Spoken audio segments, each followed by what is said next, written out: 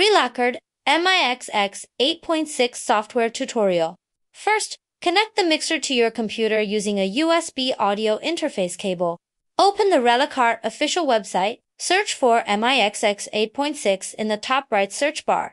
Click to enter the MIXX 8.6 mixer product page. Scroll down to the download section.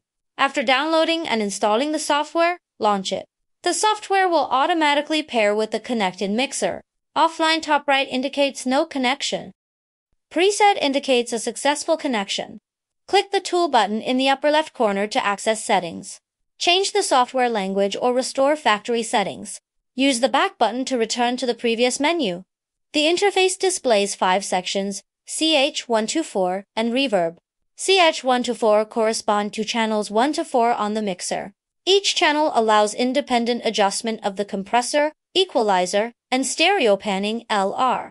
Click Comp to enter the compressor settings interface. Adjust the compressor effect for the selected channel. Click EQ next to Comp to enter the equalizer settings interface. Adjust the equalizer effect for the selected channel. Use the Presets drop-down menu. Various presets are available here. Select a suitable preset and click Apply. This will load the corresponding settings for the compressor and equalizer.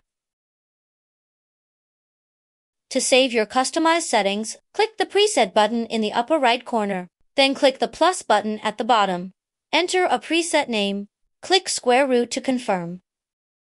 To load a preset, click the preset name you want to use.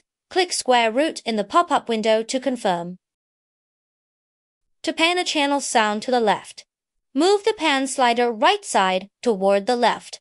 When the slider reaches the far left L, the channel's sound will output exclusively to the left channel. Slide the slider to the right to pan to the right channel. The sound will output to the right channel.